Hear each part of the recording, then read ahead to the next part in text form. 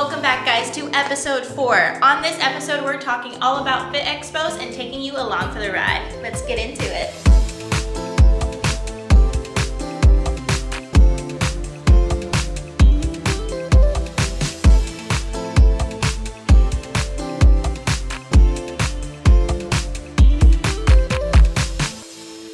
All right, so we're gonna go meet up with Shannon right now. We're gonna get an inside look on the history of Sweet Sweat inside of trade shows. Come on. All right, hey Shannon. Hi, Um, So we just wanted to sit and talk about your time at Sweet Sweat. So you want to tell us about yourself and what you do here? Sure. So I've been working at uh, Sports Research, which owns Sweet Sweat, for seven and a half years now. Wow. But that is not where my journey with this company or brand started. So I think that that's super relevant, actually. Um, I, it's kind of like a family connection. Um, my sister has been jumping rope with the company for over 10 years. Um, my brother was actually one of the original artists for the company and brand. Oh wow. I didn't know that. Yeah, That's cool. but it goes way back farther than that. Well, actually, the reason we know the Petersons is because uh, my father met uh, my father Brian Llewellyn met Jeff Peterson um, back in the day. He's a master marketer, and they actually met. And Jeff Peterson had created this product called Sweet Sweat, and lo and behold, my dad.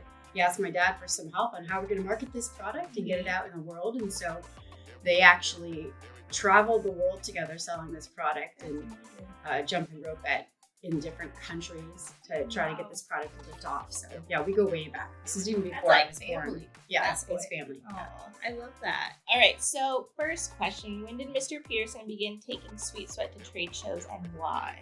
So I believe, uh, according to my notes, um, I don't want to get this wrong, but we're going to talk about somewhere between 1981 Okay. and 1982.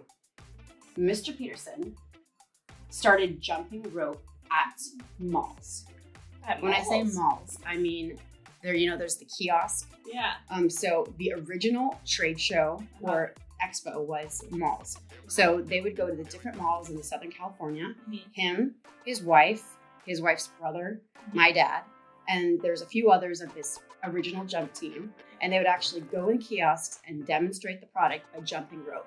At first, they would try to run upstairs, but obviously that's inefficient. So that's where the jump rope was was born because um, jumping rope is a little bit more efficient, and you can have somebody watch live and see the sweat develop on one side of the body, not the other. Mhm. And sweet sweat, it can come across as gimmicky, but it's Yeah. it's in order to prove that no, it's not a gimmick, it's for real. Yeah. You jump rope. Okay. So probably of all the mall stories, the most epic one was, you know, every day they'd go split up to on the days they could, Mhm. and they'd split up. But Mrs. Peterson, at eight months pregnant, was jumping at a mall in Riverside Oh by herself. And she did such a good job getting the word out that one day she came back and she didn't even have to jump anymore. She just sold.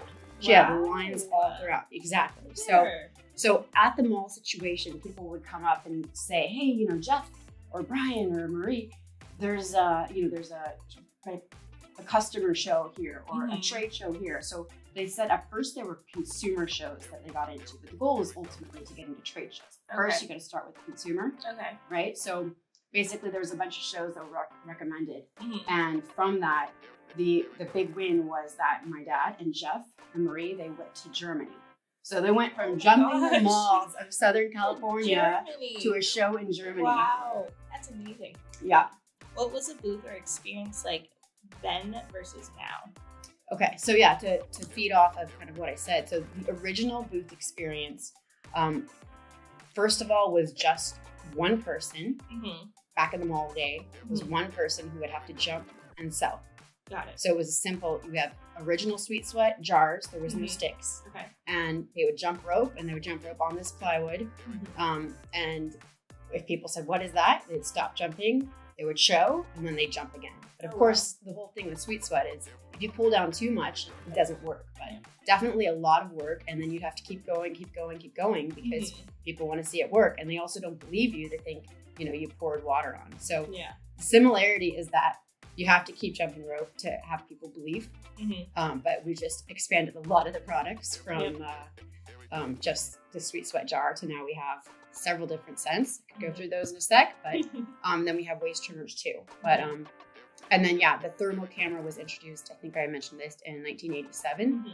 and that also was it's a it's a very high priced item. Yeah. So traveling with a TV to kind of show the thermal camera working, um, that once that was introduced, that was also something that was a critical aspect of showing. So now you have not just showing the sweet spot work, but then you have the science of it's uh, we're able to measure the heat coming off one side versus the other. Perfect. Cool. It's definitely elevated. It's elevated, yes. For the customer experience, what are the benefits of seeing our booth at a Fit Expo? So yeah, the customer experience from day one is actually like that is the main purpose of these shows is to allow them to see past the apparent, um, you know, sweet sweat. What is that? Like it is Yeah. really to answer that question live, to have any question or doubt of is it a gimmick? No, it's not a gimmick. It's for real. Mm-hmm. And yes, it works, and yes, it can work for you too. So the customer experience allows the customer to see, to smell, to feel the gel, and then to actually they can't try it there because you actually have to work out for it to work. But they can actually see what it feels like, and then they can watch it demonstrated live and see for themselves that it's really happening live, and there's nobody behind the scenes kind of editing that Yeah. to make it look.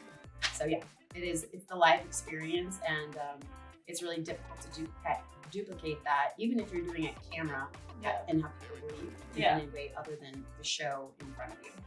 I mean, I feel like that's our big problem with social sometimes is that like you only get to see like 20 seconds of a video, you know? So Yeah. it's like you're not seeing the whole workout. So yeah, to people it's like Yeah, credibility. I think, Yes. I think really credibility, and then now maybe the added asset is because we have so many scents and colors. Mhm. They can see it for themselves, the product, and see it, feel it, smell it, and be like, yes, that's for me, or ooh, this is my new favorite. Totally. Nice. Okay, so last but not least, um, over the last years, do you know how many cities Sweet Sweat has traveled to for the Fit Expos? Oh, yeah. So when I asked Mr. Peterson this question, because I'm like, okay, I don't want to do this justice, Mm-hmm. He didn't stop. So, Oh. so I'm just gonna go. I'm actually gonna read off all the stuff I was able to jot down. Okay. when I say we've traveled all over the world, Sweet Sweat has traveled all over the world. And I say we. I haven't been there myself, but you know, Yes. part of my family and but the Sweet Sweat brand has been there. Mr. Peterson himself has done those cities. Okay. Are we ready? Okay, so we've been to Europe, Asia, South America, Canada, Mexico, Australia. Um, and when I say South America, all over South America, Brazil many times Okay. um, and then all major cities in the U.S. So Wow. the ones I jotted down: New York, Chicago, San Francisco, uh, Vegas, Miami, New Orleans, Oh my gosh. and so on and so forth. Wow. Yeah, and then you know San Jose, San Diego. Just Mhm. they have been everywhere. So Yeah. I think that understanding that the Fit Expo, the LA Fit Expo, is one of the most common ones, and it's local Mhm. but the history of traveling the world and in particular the US Mhm. in more recent times to demonstrate the product is is a real thing. And I, they would go almost every weekend originally Wow. because they knew that this was a word of mouth product, and if you could show it in person and make people believe, then they would buy it on the spot. Wow. Yeah. That is amazing. I think so too. Sweet Sweat has taken over. It Taken over is. the whole world. All right, so thanks Shannon for chit chatting with us, um, and we're gonna get you on the vlog some more okay, later on. sounds good. All right, we'll see y'all later. What's up, you guys? My name is Avery, and I am doing a YouTube takeover. The LA Fit Expo is coming up, and I want to show you guys how I prepare for it. Let's go. So, at the LA Fit Expo, we have a live demonstration, which means we have people jump roping for an hour to an hour and 15 to an hour and a half, which seems like a lot, but with the adrenaline from the crowd, it doesn't, it's not that long. So, how I like to prepare is first of all, hydrate, hydrate, hydrate. Um, I like to get some nice electrolyte drinks, whatever you want. Um, lots and lots of water. You gotta stay hydrated if you're gonna jump rope that long. Also, you show better because we wear sweet sweat on one side of our body and not the other side to show how the product works. And if you're really hydrated, chances are you're gonna sweat more, obviously, and show more. I like to make sure that I have some sort of complex carb, either these little fingerling potatoes, or oatmeal, or sweet potatoes, some. Shh. I'm filming. I like to make sure that I have some sort of complex carb, whether it be a regular potato, oatmeal, sweet potato, to make sure that my muscles are replenished and recovered and then I have enough energy for my next day of jump roping. Next order of business, stretching. So important before you jump rope because your muscles get tight, they're gonna hurt after you jump, but you wanna make sure that you prime them before you jump for an hour or an hour, two, hour, whatever. Let's go.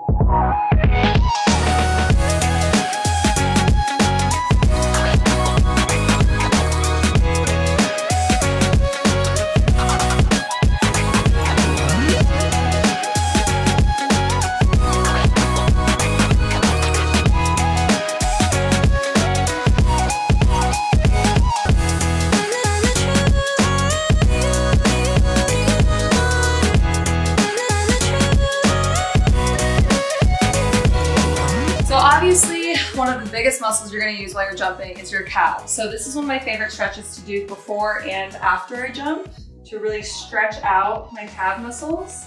You're on your toes the whole time, so it's gonna get really tight up with your calves. I also like to focus on my hands and my forearms. You wouldn't think your hands, but because you're gripping the jump rope the whole time, they do get a little tight and a little sore, and same with your forearms. So I like to make sure that I do stretches for those as well.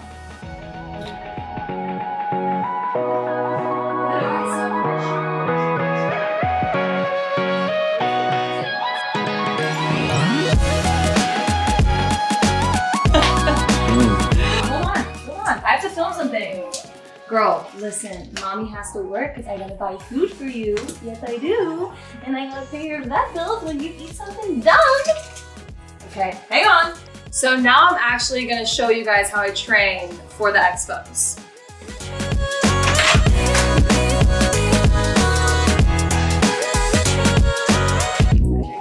Right, first and foremost, when training for the expo, is you don't want to burn yourself out before you actually go and perform on the podium, stage, whatever. So what I like to do is I like to jump around 30 minutes so you don't wear yourself out and maybe like three times before the show, but space it out. I also make sure that I'm not just jumping on two feet because you'll get more worn out. So I like to switch my weight to make sure that I'm giving my calves a little bit of a break. Do this, you can do this. But, and then towards the end of my workout, I'll try trick stuff, but not too much because again, you don't wanna wear yourself out. And that's it. And that's it. Thanks for coming along my YouTube takeover. We will see you at the expo. Guys, we're here at the LA Fit Expo. It's day one. Let's go find the Sweet Sweat booth.